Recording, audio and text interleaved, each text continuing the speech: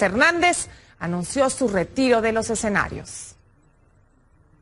El charro de buen titán, don Vicente Fernández, dejó a la prensa internacional con la boca abierta. Esto al anunciar su retiro de los escenarios con su última gira mundial, que incluye Centroamérica, Estados Unidos y Europa.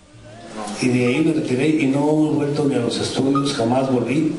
Y yo cuando tomo una decisión es definitiva. Entonces, estoy pensando que esta ida a España, a Centro y Sudamérica, es la última vez eh, que voy a tener la oportunidad de agradecer el cariño, eh, la presencia del público, pero un artista debe retirarse con mucha dignidad en el mero momento y, yo creo que en este año, no creo, en este año voy a despedirme de todos ustedes, de todo el público de Centro Sudamérica, voy a despedirme a España, a dar las gracias por el cariño que me brindaron desde hace muchos años.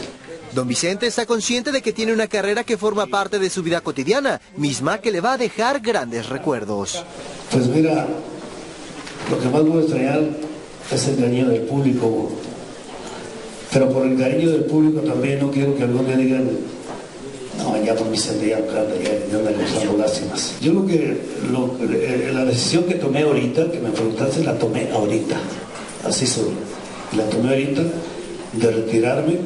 Este, es la última vez que voy a, Venezuela, Colombia, a Caracas, a, Estados Unidos, en México, pero quiero que sepan que me voy con dinero y sin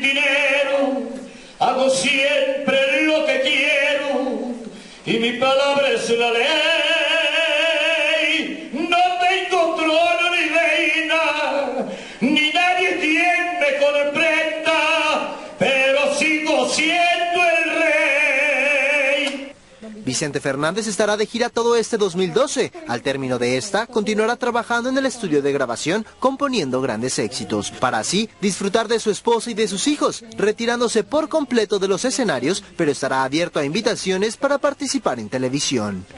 Charbel Curi, Televisa Espectáculos.